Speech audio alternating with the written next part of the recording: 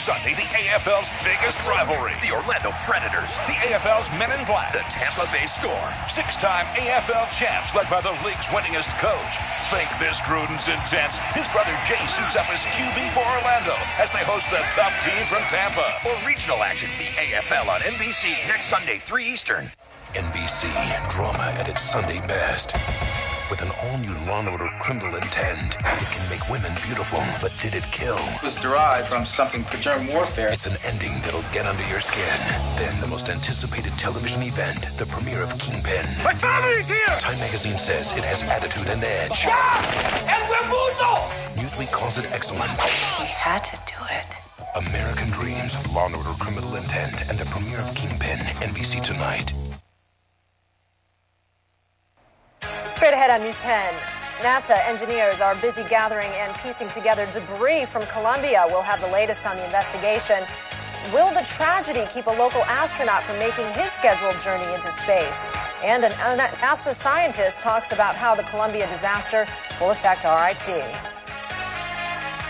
Attention, Rochester furniture shoppers! It's been years in the planning, and it's finally here. The grand opening of Raymour and Flanigan Furniture's massive Henrietta Superstore. To celebrate, absolutely everything's on sale at all five Rochester area locations. Now every piece of furniture has been reduced at all five Raymour and Flanigan Rochester area showrooms, with no deposit, interest, or payments for one full year, plus delivery in three days or less. Everything's on sale now during Raymour and Flanigan Furniture's grand opening in Henrietta. Going on now. Mothers should know that smoking around their children is dangerous. Jenny smokes every day. She doesn't realize how harmful its effects are. She doesn't know that cigarette smoke can cause infants to develop asthma or even die. Even if she did know, there's nothing Jenny could do to stop smoking because she's only six months old. Jenny smokes because her mother smokes. Don't smoke around your children. If you know someone who does, let them know how you feel about secondhand smoke. And now for something completely different. Going to bed my tiger. You've never seen anything like this on network television. I've seen the flames of hell. Think of it as a good time, you know, beating up the white man. He wanted to be king. I think I'm weak. But to rule an empire, I think you've got some issues. he must first rule a family. I say, oh, it got me! From the director of The Sopranos, Don't trust anybody. Kingpin, premieres NBC tonight. You're watching 10 NBC Rochester. It has been a solemn day in Rochester and across the world as we remember seven heroes. It's our top story. Investigators are finding more debris, and we are learning more about what may have caused the shuttle to explode. We'll have up to the minute details. RIT professors do a lot of research for NASA. I'm Elizabeth Shernack. I'll tell you about that research and how it will be impacted by the latest shuttle tragedy. A mild and gray Sunday. Will the warm up continue this week? Josh has the forecast from the 10 NBC Weather Lab. The 6 o'clock news starts now. Digging for answers, reporting them first. This is News 10 NBC at 6. Good evening. I'm Kristen Salome. Wendy has the night off. Investigators are trying to piece together the last moments on board the Space Shuttle Columbia. Many are already calling the crew of seven heroes. They will be remembered for their bravery. One of the biggest debris fields in the country is Nacogdoches County, Texas. People are spotting metal, pieces of machinery, and even human remains. Officials are flying over the area in helicopters and then directing search parties to those spots. But the wreckage won't move until federal officials decide what to do with it. The Nacogdoches County Sheriff says there are already more than a thousand debris sites, and that number may double before the search is over. As for the investigation into the crash, NASA says the space shuttle temperature began breaking up and rising before the breakup. Earlier today, I spoke with a man who is from Rochester but now lives in Nacogdoches, Texas, very close to this tragedy. Jim Hogle told me he heard the shuttle before he knew what it was or what had happened. Sounded like a train was was coming uh, right through our front yard, about five feet from the house, because the whole house just shook, and I didn't know what it was. First, my first instinct was like a falling limb or something off all the pine trees we have around here, but I knew it couldn't have been that because I mean the whole the foundation of the house, which the, the earth was shaking, eight, nine seconds. Local astronaut Pam Melroy of Pittsford is back in Houston tonight after yesterday's shuttle disaster. We spoke by phone with her father today. He says Pam had been at Cape Canaveral for the return of Columbia. She was among those who escorted the families of the victims back to NASA headquarters. Astronaut Ed Lu, a graduate of Webster Thomas High School, made his first shuttle flight about two years ago. Brett Davidson spoke with his parents today and joins us live now from our newsroom. Brett, the Lus must be going through some mixed emotions. Uh, on the one hand, uh, relief that their son wasn't on board. On the other hand, what a tragedy. Yeah, absolutely, Kristen. Uh, very much so. There is sorrow, but as you said, also relief. Ed Lu was scheduled to return to space and the International Space Station next month on the very next shuttle flight. But Ed Lu's parents tell me they are always aware of the dangers behind the job. Yesterday's Columbia disaster, a very real reminder of that.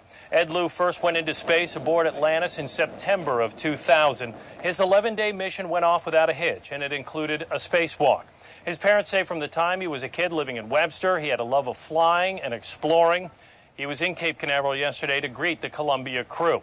His parents say he was very close to three of the astronauts who died yesterday. They were all in his graduating class at the space program. His mother says she's always concerned anytime the shuttle is in space, but also says she believes in NASA. We, we parents are always a little nervous, but we know that everything's meant possible to be taken care of. We always take care of. We have confidence. Now, Elmira native Eileen Collins, whose father lives here in Rochester, was scheduled to command next flight, uh, next month's Atlantis flight that would have been carrying Ed Lu to the International Space Station. But NASA is not ready to say tonight when it might resume the shuttle program. Coming up, we're going to hear much more from the Lu family tonight at 11. Reporting live in the newsroom, Brett Davidson, News 10 NBC. Congresswoman Louise Slaughter says Congress will want answers before another space shuttle launch takes place. We caught up with Slaughter today in Rochester. I think there are going to be some serious questions asked in Congress. Um, the space shuttle is very old. Uh, they had abandoned plans to build a new one because of budgetary cutbacks. And um, there are people who believe, and I heard this yesterday at a conference that I was attending when we heard about it, uh, that, that corners had been cut. And in fact, the congressional committee had been told that.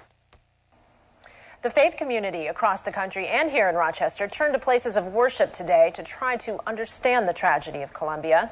We caught up with one service at the Asbury First Methodist Church on East Avenue, where worshipers came to pay their respects to the seven astronauts who lost their lives. Now, bringing you Western New York's most advanced forecasting technology, here's meteorologist Josh Nichols in the 10 NBC Weather Lab. And good evening, everyone. Something of a drab and dull day across Rochester and Western New York. Occasionally, we saw the Renegade flurry or two passing through the skies, windblown a little bit as well. And uh, some of that snow is actually courtesy of a coastal storm just off the New England shoreline. 35 degrees is our temperature right now, so at least we've maintained temperatures just above the freezing level a little bit. I would be not doing my job if I didn't tell you what happened today with the groundhog. So let's go into the forecast center and share that answer with you. Phil says six more weeks he saw his shadow, and I think we can concur here in the 10 NBC Weather Lab that we will be stuck in winter for the next six more weeks. Of course, General Beauregard Lee down in Georgia, he didn't see his shadow, so they're probably going to get an early spring, right? But that's Georgia anyway. We have a mini thaw of our own coming up for Monday and for Tuesday, and that is going to be courtesy of a big old storm going through the St. Lawrence Valley. It's going to produce a high wind event. Then we're back into the deep freeze for Wednesday, and that means more lake snows and more sub zero wind chills. Here we go again. The pattern is redeveloping all over again. Big blocking high in the North Atlantic, another blocking high in the Pacific, big polar vortex developing in central Canada, sending down surges of Arctic air through the middle part of the week. It's just like what we went through through much of January. There are your weather facts for today. The high temperature 35, the low 33. Just a trace of precipitation and a scant trace of snowfall today, and some of those flurries courtesy of that coastal storm. Right now at Rochester Airport, we stand at 35 degrees, still gray, still overcast. The breeze west northwesterly at about 12 miles per hour. And as we take a look at our weather watcher numbers, we see temperatures temperatures mainly in the low 30s, 34 for instance in Red Creek, 32 right now from our newest weather watcher in Ossian, and it's 34 currently in Le Roy. We inspect northeast temperatures and you can see 41 in New York, 49 in Washington.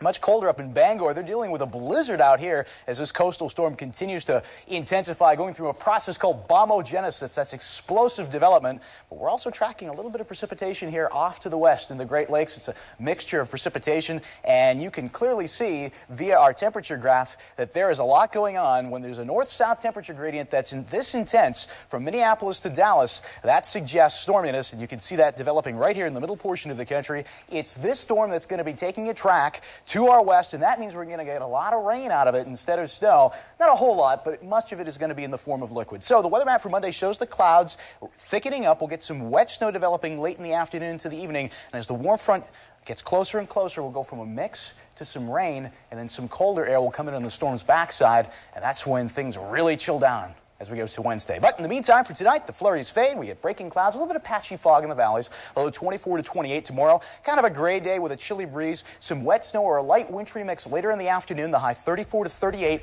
A windy event coming up for uh, Tuesday. Could see gusts over 50 miles per hour Tuesday night. And then the bitter chill comes in, Kristen, Wednesday, Thursday, Friday with lake snows, sub-zero wind chills all over again. Here we go. Back to winter. You got it. Well, kind of gray today, matching the mood of the country, I'm afraid. Very true. All right, thanks, Josh. You're welcome. Well, the effects of the space shuttle disaster will continue to be felt here in Rochester. Coming up, find out how programs at a local college could be impacted. I'm Rory Fitzpatrick from the Rochester Amerks. The one you love is back. The Monterey Ranch Chicken Sandwich at Wendy's. Wendy's, it's better here. I'm News 10 NBC's Elizabeth Shernack. Once again, you and 10 NBC partnered together to support the efforts of local schools to sell a record number of entertainment books. Congratulations, Rochester, for raising over $1 million. Helped raise funds for many school projects, including computers for Indian Landing School, playground equipment at Honeoye Elementary, and a cultural arts program at Harris Hill Elementary. We thank Simply Certificates in Seneca Park Zoo for supporting entertainment books. The Rochester Athletic Club. You are active. R-A-C-N-U. You have fun. If you work out, you want results. I'll make sure you get them. Using principles like target heart rate, overload, and cross training, you'll lose inches and look your best. My goal? Reaching your goal. Enroll now. Get three months for $99. You can do it. R-A-C-N-U.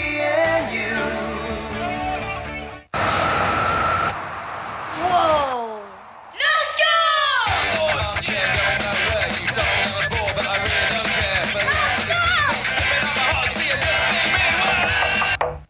We're leaving in five minutes, guys. The C240 sedan now with 4MATIC all-wheel drive. Disappointing kids everywhere.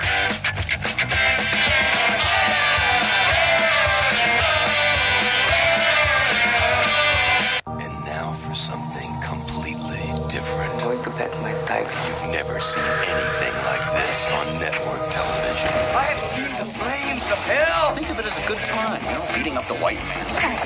He wanted to be king. Think I'm weak? But to rule an empire, I think you've got some issues. he must first rule a family. I said all oh, it got to be me! From the director of The Sopranos, Don't trust anybody. Kingpin, premieres NBC tonight. Flags all around the Rochester area were at half staff today. This one in front of the Rochester Public Safety Building is symbolic of a nation mourning the loss of seven heroic astronauts. Rochester Institute of Technology and NASA have strong ties. NASA provides professors and students with several research grants, which in turn helps out NASA. But since NASA's priority is now to investigate the shuttle disaster, RIT may feel some repercussions. Elizabeth Shernack looked into this story. Elizabeth, what type of research does RIT do for NASA, and how could it be impacted by this tragedy? Well, Kristen, since NASA will likely spend a lot of time and money on an investigation about what exactly happened to the shuttle Columbia, some future research grants may be delayed. Funding for projects going on right now has already been secured, so those projects should continue as planned. Ryan Raffaelle is a physics professor at RIT. With a grant from NASA, he's making materials to use for power systems like batteries and solar panels. He says the partnership between RIT and NASA is key for developing new technologies. You never really know how good they're going to be until we get them up and up in space and test them, you know, under the real conditions. He gives credit to astronauts. These are the people that actually put their lives on the lines to develop science for the rest of us. The crew of the Columbia conducted 80 science experiments while in orbit. Some of the data was transmitted back to Earth, but not all. Things that the, the astronauts learned while they were up there will be uh, unfortunately uh, lost. Since NASA now has to investigate what happened, funding for future research projects at RIT could be delayed. When things go bad for NASA, there is a trickle down to the kind of people who work with NASA, such as uh, ourselves in the lab. From his experience working for NASA, Raffaelle knows precautions were taken to prevent an accident. Columbia out of communications at present uh, with Mission Control. Raffaelle says NASA scientists have extensive training in failure analysis to predict any problems before they happen. He is confident that NASA would not put a shuttle up into orbit if there were any doubts. They're not shy about scrubbing a mission, even if there is a hint or any potential whatsoever that there could be a problem. But since a problem on the shuttle Columbia wasn't detected before liftoff, NASA now has to invest in making sure it won't happen again. And Raffaelle is actually heading to NASA's Glenn Research Center in Cleveland, Ohio tomorrow. He expects it to be a sad day, but he says work will go on, as it would be disrespectful to quit since seven astronauts just lost their lives to science. Elizabeth Chernak, News 10 NBC. Some local reservists are getting ready to ship out. We check in on the busy sailors just ahead. Stay with us. Hi. I got you something special. Does it come in a box? Uh huh. Is it round? Yeah. Is it gold? Uh huh. Is it a gold ring? Close your eyes. New stuffed crust gold pizza from Pizza Hut. We married a ring of cheese baked inside the crust with golden cheddar on top for a toasted crunch. Stuffed crust pizza for $9.99 or go for the gold for $1 more. New at Pizza Hut. Can I open my eyes yet? No, not yet. Hi, I'm Keith Hernandez. And I'm Walt Clyde Frazier. What a marvelous night for the action. Let's go to the play-by-play. Oh, there's Mr. Graybeard approaching Miss Hottie. Oh, no. Rejected. Clyde, that's gotta hurt. Yeah, no play for Mr. Gray. Get that man our Just for Men Brush In Color Gel. It's specially formulated to penetrate coarse facial hair and gets rid of gray in five easy minutes. Gets rid of strikeouts too. Just for Men Gel. The Rejuvenator. You can hear News 10 NBC on the radio every day on WYSL News 1040. These broadcasts are made possible by Genesee Ford Truck. If you break it, Faluca will fix it. For three generations, Faluca has installed garage doors that add value and save on energy costs. Their LiftMaster garage door openers will make your home safer and more secure. And now, a 100% labor and parts no headaches guarantee is available. For the best backed, best installed garage doors in Rochester, call Faluca Garage Doors. Your estimate is free. Attention, Rochester furniture shoppers! It's been years in the planning, and it's finally here. The grand opening of Raymour and Flanigan Furniture's massive Henrietta Superstore. To celebrate, absolutely everything's on sale at all five Rochester area locations. Now every piece of furniture has been reduced at all five Raymour and Flanigan Rochester area showrooms, with no deposit, interest, or payments for one full year, plus delivery in three days or less. Everything's on sale now during Raymour and Flanigan Furniture's grand opening in Henrietta. Going on now. Digging for answers, reporting them first. This is News 10 NBC at 6 with Wendy Wright, Mark Grubauer Sports, and meteorologist Josh Nichols in the News 10 NBC Weather Lab. Rochester police have two men in custody in connection with the city's latest homicide. 20 year old Terrence Washington and 24 year old Jesse Cooper are charged with second degree murder. Police say they shot and killed 20 year old Kevin Hillard on Friday near the intersection of St. Paul and Avenue D. Police also say the two suspects pulled up next to Hillard in their SUV, argued with the victim, and moments later shot him. Another local reserve unit is mobilizing for duty. 16 sailors with the Navy's construction battalion will fly to Gulfport, Mississippi later this week. Today was a busy day at the unit's Chili headquarters as the sailors get their paperwork in order. The group could be gone for one to two years. They don't know exactly where their ultimate destination is. They won't know until they arrive in Mississippi. there's a lot of stirring around. I, I think he caught some of our folks off off guard, although they knew that they should be ready every day. Uh, this happened pretty quickly, and uh, most of them are really looking forward to the challenge. During the Gulf War, the Navy's Mobile Construction Battalion built camps for troops in Saudi Arabia. Well, city snowplows are getting some help from tow trucks and city police. Crews were out earlier today ticketing and removing cars blocking snowplow routes. City codes require that cars be moved at least every 12 hours. If you don't move your car, you could get a ticket of $35 or have to pay more than $100 a day for towing and storage fees. Mark Gruba is just ahead with sports. The best players in the NHL faced off against each other this afternoon. We'll have All Star game highlights when we return. It's time to start up in a new Ford Explorer with red carpet option financing for just 325 a month for 36 months with 30 33 due. So why not start the year in the world's best-selling SUV?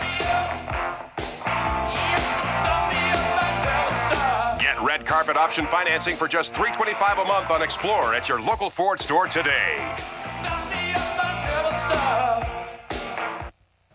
Courage and tenacity are qualities that drive you to succeed.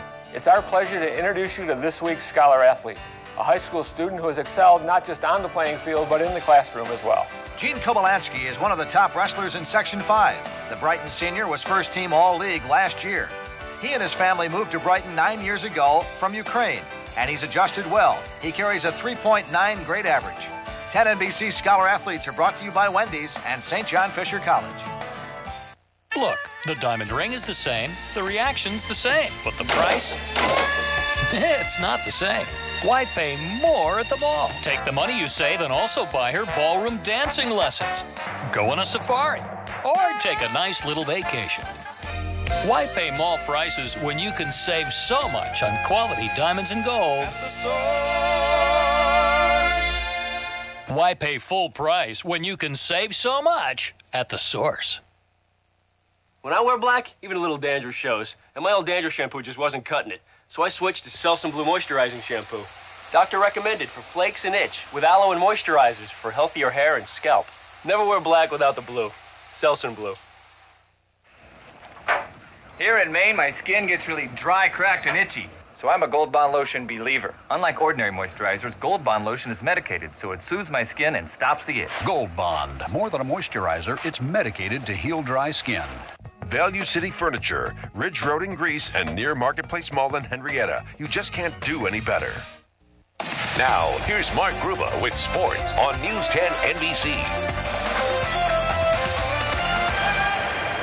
Well, the NHL may be uh, short on revenue, but it is not short on talent. The best on display today at the All Star game. Atlanta Thrasher Dany Heatley absolutely stole the show in South Florida today. Already had one goal. Here's number two. Right at a midair. That tied the game at two. Second period now. Heatley again. This is his fourth goal of the game, tying an all-star record held by guys like Gretzky and Lemieux. 4-4 game. Despite Heatley's heroics, the East needed that from Olli Jokinen to force overtime. After a scoreless five, they went to a shootout. Miroslav Satan, the only saber in the game, misses. Marty Turco with the save. Other way now, Paul Kariya for the West. Watch this. A rocket past Lalime. The West wins the shootout and the game 8 6. Heatley credited with five goals, a new record, earning MVP honors. The NFL Pro Bowl, by the way, is underway in Hawaii. Highlights from that on the late news. It is also the AHL All Star weekend. The skills competition is tonight in Portland, Maine, with the game set for tomorrow at 7 o'clock. Jason Botterill is the only Amerks taking part. It's his first All Star game at any level, and he's earned it, leading the league with 29 goals.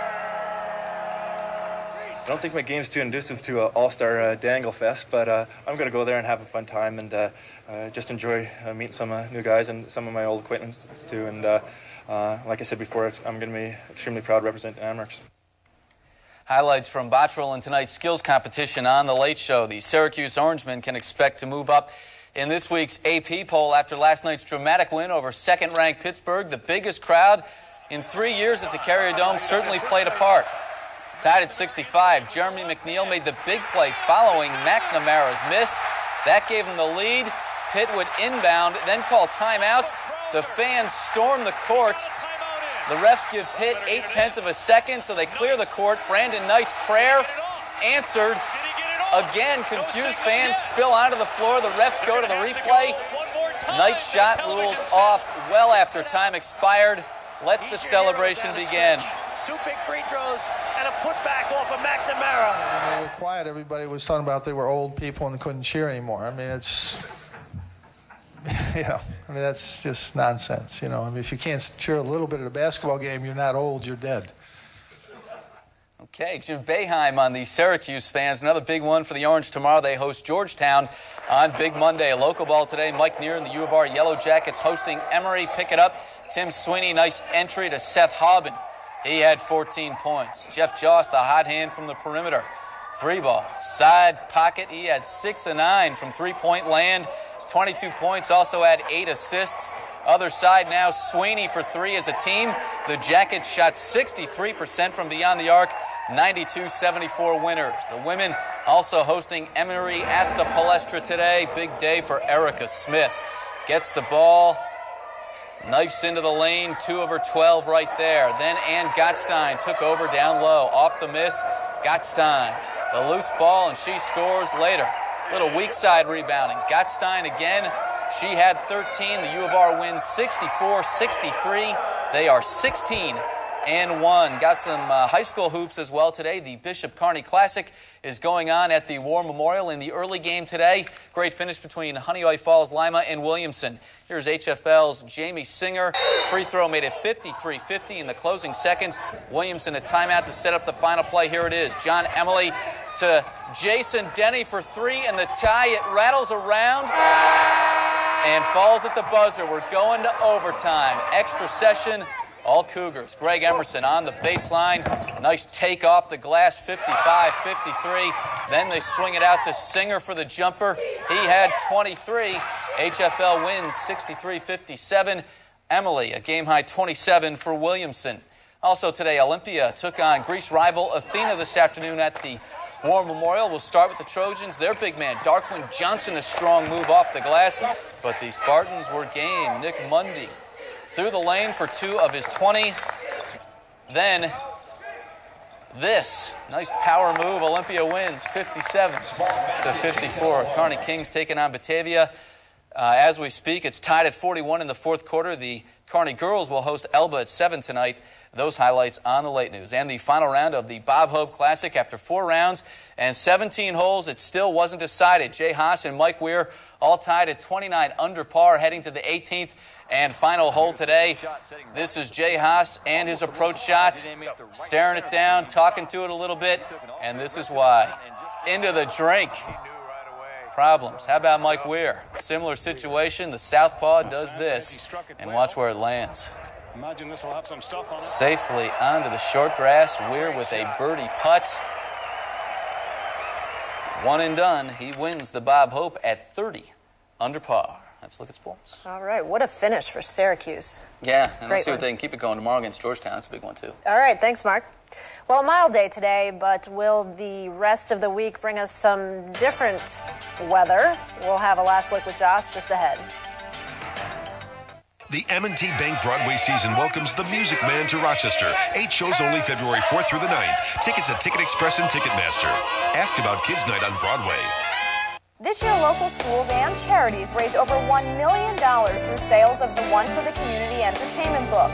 Congratulations, Rochester, for supporting the entertainment book.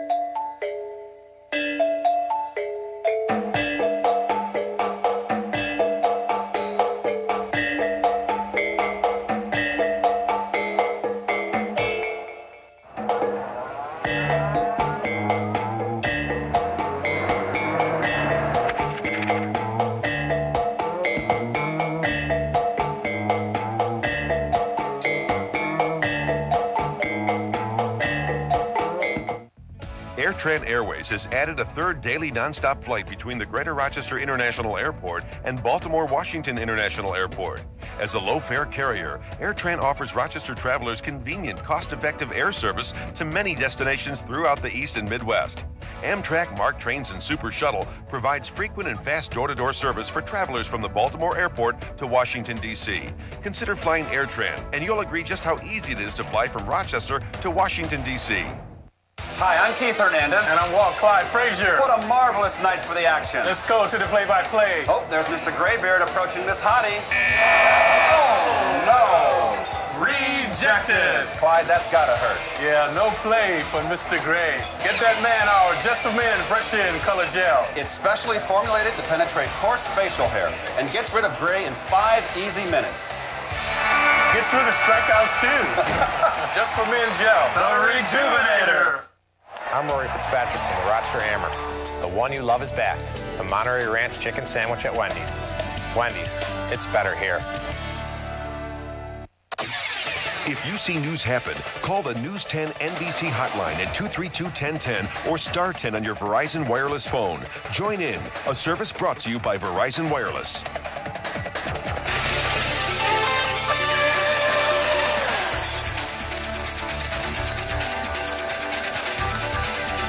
So this warm weather should stick around a little while? Uh, yeah, if you call 35 miles, sure. Yeah, but then we're back into the deep freeze, Kristen. We're going to be talking about uh, a little bit of snow coming in for tomorrow afternoon, and it's going to start out a little bit on the gray side, too. If we see the sun, we'll be fortunate, but look out for a little wintry mix later on. Temps in the mid-30s. Could hit 40 by Tuesday, but then it's all downhill. Well, come on, that's warm for this type of this time of year. Break out the shorts, place, why not, right? Okay. well, we do thank you for joining us tonight. That is the latest from News 10 NBC. We will keep you updated throughout the night on any new developments in the shuttle tragedy investigation. We do leave you with a live look at the Capitol building in Washington, D.C., where the flag is flying at half staff in memory of yesterday's tragedy. See you back at 11.